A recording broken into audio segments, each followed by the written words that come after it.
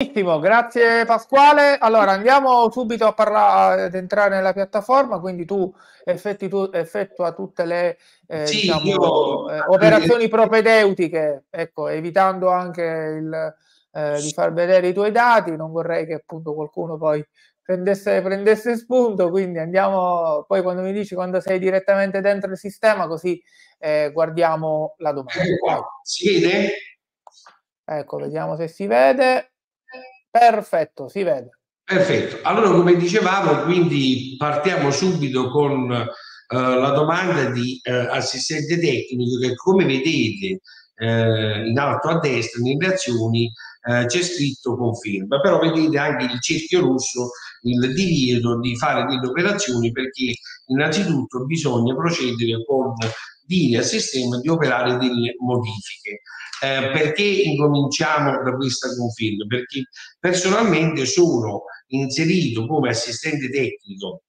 nei precedenti tre anni, eh, sono addirittura inserito non con il titolo attualmente richiesto, ma con il titolo congiunto, perché fino al 2005 ricordiamo che poteva essere eh, richiesta l'area di assistente tecnico anche con titoli congiunti, quindi diploma più qualifica eh, 845 del 78 eh, e quindi vediamo che le azioni disponibili appunto sono la conferma per l'assistente tecnico. Ma io vado a modificare perché come dicevamo prima eh, voglio fare l'aggiornamento non la conferma al fine di evitare di perdere appunto le preferenze, i titoli di preferenze che avevo indicato all'epoca. Quindi come vedete operazione prescelta aggiornamento, profilo di assistente tecnico, il sistema ci ricorda che abbiamo la certificazione internazionale di alfabetizzazione digitale che è mancante rispetto al requisito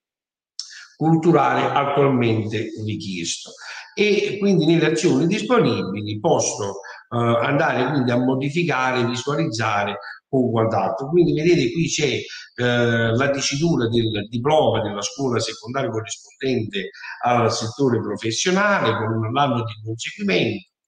eh, titoli conseguiti all'estero, non ho titoli conseguiti all'estero, certificazione internazionale di alfabetizzazione digitale ho l'opportunità, come dicevamo, o di poterla indicare se in possesso e quindi indico il titolo della certificazione e l'istituzione che ha rilasciato la certificazione con la data di conseguimento, oppure più semplicemente posso dichiarare e quindi impegnarmi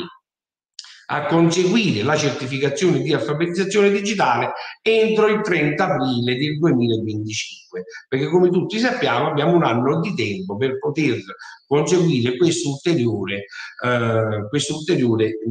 dice, titolo congiunto richiesto dal nuovo CCNL. Molto importante è la modalità di accesso, che voi qui già vedete prestabilite perché la modalità di accesso possiamo leggere la leggenda sotto, la modalità di accesso F riguarda appunto la conferma oppure l'aggiornamento del titolo. E come vedete la sessione quindi è stata salvata con successo. Potrei avere dei titoli culturali e delle ulteriori certificazioni, quindi diciamo che le azioni disponibili posso, potrei inserire, perché è previsto dal profilo professionale, un eventuale diploma di laurea, una laurea magistrale, una laurea specialistica, l'idoneità a concorso che ricordiamo deve essere specifica per il profilo professionale per il quale si concorre e una certificazione informatica digitale che ricordiamo deve essere diciamo così, aggiuntiva rispetto alla certificazione di alfabetizzazione digitale che invece ci, con, ci consente l'inserimento. Quindi simuliamo di avere un diploma di laurea, una laurea, il sistema ce lo ricorda che ha messo un solo titolo, aggiungi titolo e qui possiamo poi andare a eh, praticamente scrivere titolo di laurea, per esempio laurea magistrale in giurisprudenza. Ok. Votazione conseguita diciamo 90 su 110 istituzione presso la quale si è conseguita la laurea. Data di conseguimento 13 luglio 2022, non abbiamo titoli conseguiti all'estero e vediamo che il titolo è stato salvato con successo. Quindi lo spuntamento ci ricorda e ci indica che sta, allo stato attuale abbiamo inserito un titolo aggiuntivo che ci darà due punti nel caso di specie. E così poi le stesse operazioni verranno poi fatte eventualmente per l'idoneità al concorso, dove potremo aggiungere il tipo di profilo professionale, l'istituzione che ha indetto il concorso, data e tipo di bando, ricordiamo ancora una volta deve essere specifico, e la certificazione digitale eh, ulteriore a quella, a quella che consente l'accesso. E lo ricorda anche il sistema di certificazione deve essere appunto eh, diverso da quella di alfabetizzazione. Andando indietro, quindi dicevamo, sul profilo di assistente tecnico abbiamo, eh, abbiamo eh, compilato la sezione relativa ai titoli culturali e le certificazioni informatiche, abbiamo i titoli specifici di assistente tecnico che possiamo vedere, questi sono dei titoli relativi alla patente D e al patentino per la conduzione di caldaie a vapore che sono specifici appunto per determinate aree di, eh, di laboratorio. Mentre come potete vedere sul, sul titolo di assistente tecnico, il titolo di studio, Vedete che qui già c'è inserito, perché abbiamo detto che stiamo, siamo di fronte ad un aggiornamento, abbiamo il TD05 che è il ragioniere programmatore mini sperimentale, quindi parliamo di un diploma di ragioniere, perito commerciale e programmatore che ci dà l'area, ci dà il codice TD05 che, come dicevo, fino all'anno 2005 abbinabile un diploma di maturità con una qualifica 845 del 78 e che è il caso quindi del titolo di studio di operatore di elaborazione dati, codice LRZ appunto costituisce il mio titolo di accesso all'area. Per quanto riguarda i titoli, le, le scelte, preferenze de, delle sedi, qui vedete che ci sono le sedi che erano state precedentemente scelte. Posso operare con, con particolare elasticità all'eliminazione di una sede se non voglio più eh, questa sede, posso tranquillamente aggiungerne una nuova e scegliere ad esempio un comune che comodamente dal menu a tendine ci sarà l'elenco di tutti i comuni. Quindi io scelgo ad esempio un comune, eh, un comune a caso e chiedo al sistema di cercare le istituzioni presenti su quel comune e sono quattro istituzioni scolastiche. Come vedete le ultime due sono in grigio, sono di colore sfumato perché sono state già espresse, ma ho la possibilità invece di esprimere queste altre due scuole. Simuliamo di sceglierne una, seleziono e l'operazione è stata completata anch'essa con successo. E sono e quindi come vedete giù in basso a destra abbiamo tre pagine che rappresentano l'elenco delle istituzioni scolastiche che siamo andati praticamente a scegliere nel vecchio triennio e che sono presenti. Andando indietro quindi nei titoli di servizio o del servizio già eh, precaricato, valutato, non ho altri servizi da importare perché il sistema dà anche la possibilità di poter attraverso le azioni disponibili semplicemente importare il servizio, qualora un servizio reso non fosse presente all'interno della pagina, nessuna, nessun problema, possiamo semplicemente andare a dire aggiungi servizio e qui andremo a compilare questa sezione. Quindi anno scolastico 2020-2021, istituzione scolastico IC Da Vinci. Diciamo che l'abbiamo fatto quindi nella provincia di eh, Caserta, nel comune di eh, Caserta. E eccoci qua, l'indirizzo via eh, via albero, giusto così per, per, per, per, simulare, in qualità di assistente tecnico, indicherò la tipologia del contratto di ruolo o non di ruolo e poi mi si apre il menu a sulla tipologia perché dice scuole statali,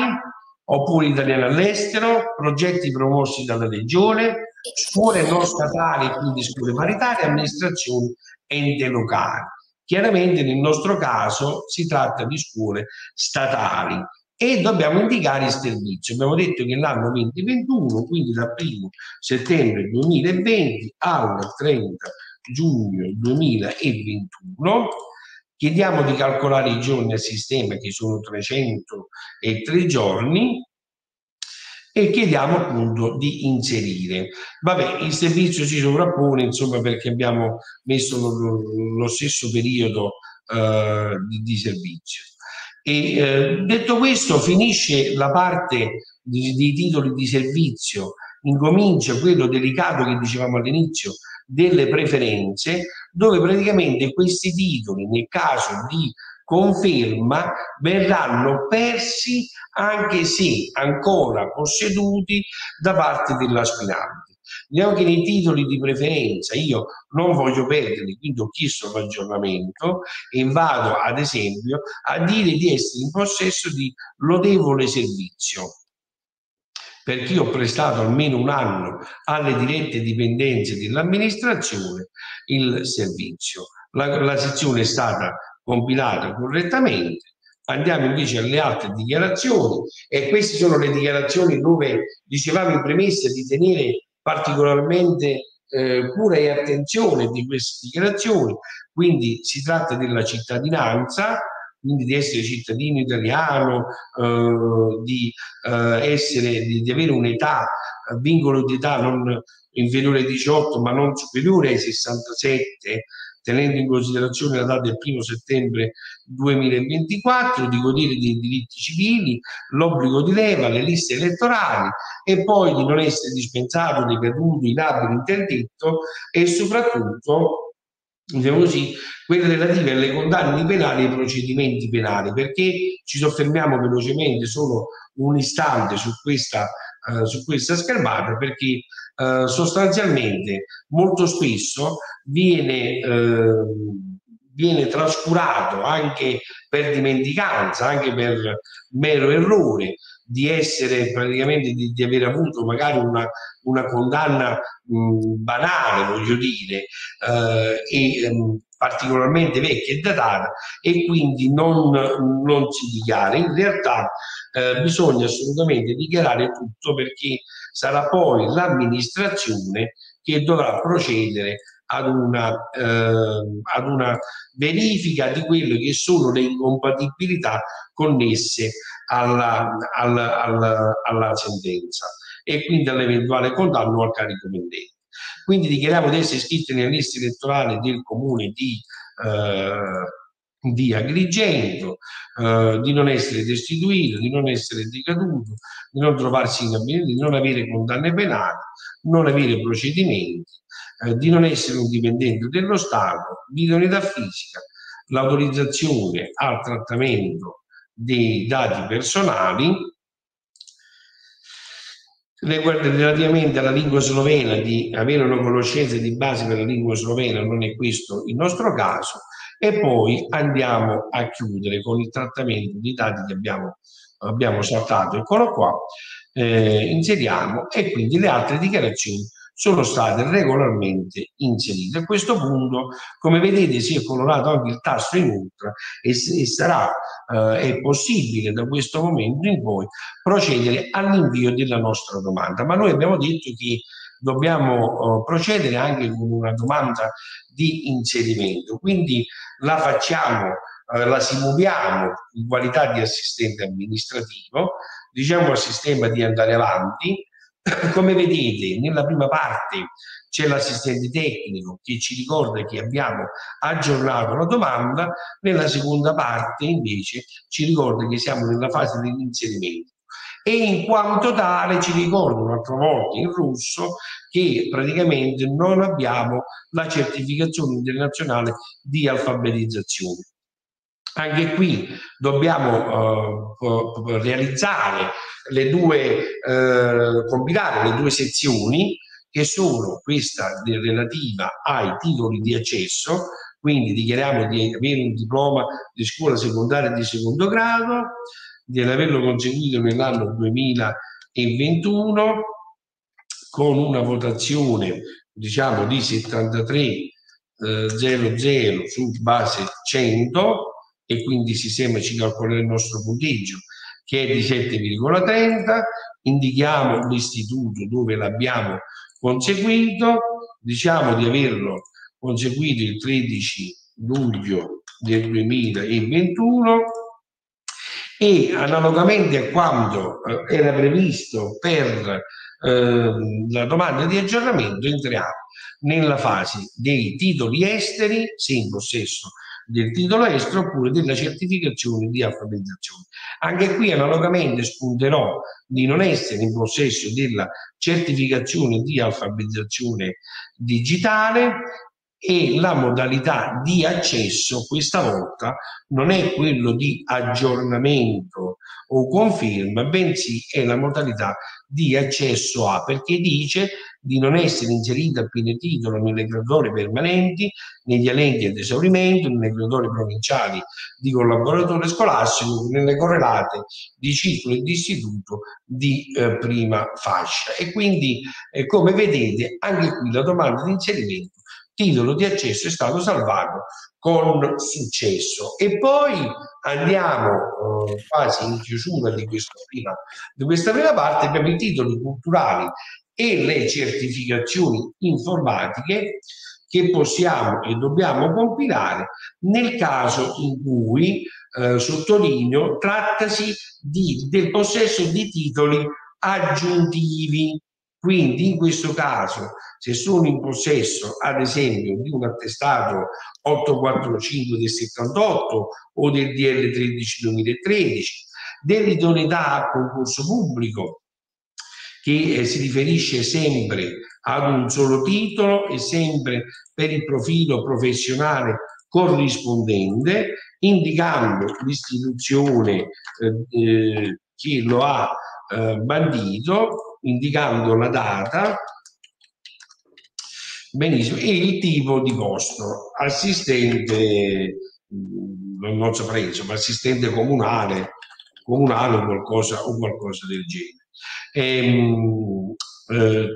spesi per l'accesso, va bene, perché qua l'abbiamo messo anche per l'accesso. Allora, eh, quindi le, mh, mm, allora, l'idoneità la riprendiamo. Allora, aggiungiamo il titolo. Uh, altro concetto, istituzione scolastica, 13 luglio 2021,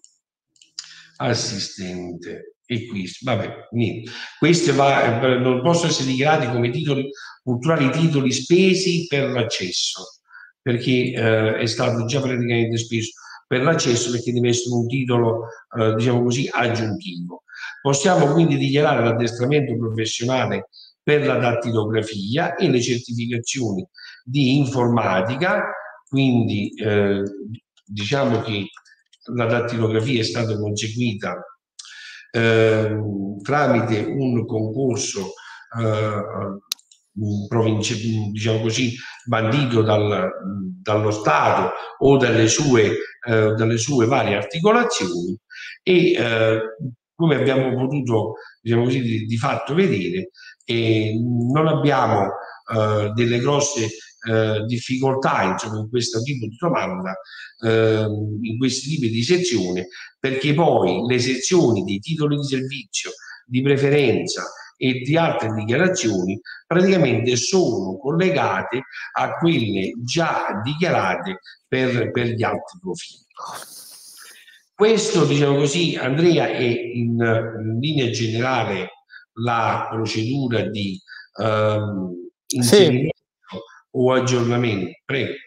Eh, scusami, ecco Pasquale, giusto, per, è giusto che preciso una cosa, ecco, vedo che le, i nostri utenti stanno facendo domande, ecco, ce lo chiedono anche alcuni lettori. Eh, non c'è nessuna risposta perché semplicemente eh, stiamo facendo vedere la piattaforma. Le domande, mh, come, lo, come ormai consuetudine, eh, si fanno dopo, eh, dopo la chiusura della, eh, della diretta. Ecco, quindi eh, Pasquale andiamo con la seconda parte della, del video tutorial, poi lasceremo 15-20 minuti di spazio dedicato al question time. Vi ricordo poi che la classica trasmissione question time, quindi con le domande e le risposte, sarà poi, eh, inizierà poi da domani. Vai, prego. Sì,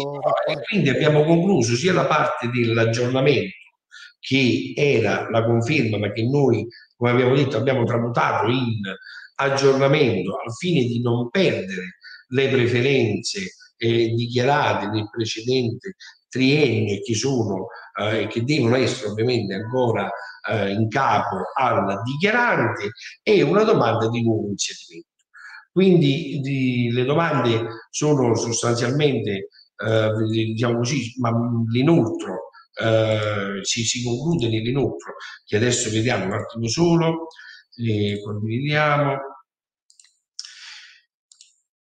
E vediamo che mh, con l'inoltro eh, le vedete? Ecco, aspetta che la vediamo, le rimettiamo, ecco qua, perfetto. Allora lo rifacciamo. Quindi dicevamo, avevamo le sezioni comuni, abbiamo inserito la domanda di aggiornamento, abbiamo inserito la domanda di eh, inserimento, possiamo chiedere di inoltrare al sistema e confermare e così diciamo così, partirà la nostra domanda per, eh, per la scuola di destinazione, quindi dove abbiamo chiesto eh, la scuola dove abbiamo chiesto di essere ehm, capofila.